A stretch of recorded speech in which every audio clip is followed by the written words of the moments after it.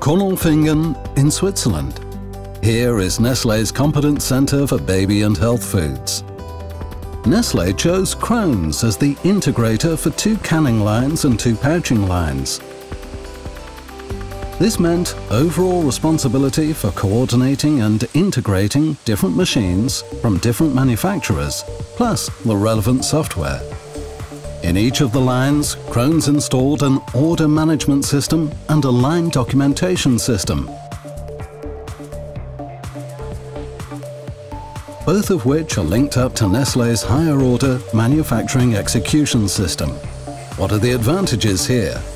No interfacing problems. Instead, order-specific automated equipment parameterization, visualization of the order data for the operators, plus a production process accurately tailored to the precise capacities of the tanks and containers involved, with concomitant savings in both material and time. Before Krones IT packages were installed, things were quite different. The lines now feature what are called batch changes on the fly, which offer massive potentials for cost cutting before on-the-fly batch changes were introduced, we had to run both of the lines completely empty at an order changeover, which lost us a lot of time.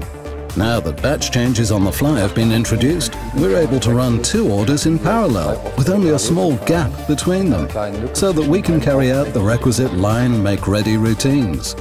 If we take the case that we don't have to change the product but only the cans, then for each order we can cut the changeover time from 45 minutes to just 15, which means we save half an hour. On average, I would say we have two orders per line, which adds up to approximately one hour. When we extrapolate that to two lines, then we have time savings of about two hours. Product safety enjoys paramount priority at Nestle. Krones Solutions make their own contribution towards meeting the client's stringent stipulations.